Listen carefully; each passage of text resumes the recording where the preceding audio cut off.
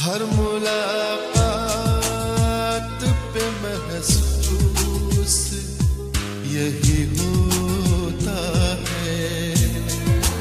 हर मुलाकात पे महसूस यही होता है। मुझसे कुछ